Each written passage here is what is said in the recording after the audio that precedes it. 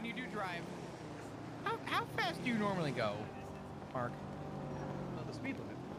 What's the speed limit? Fuck!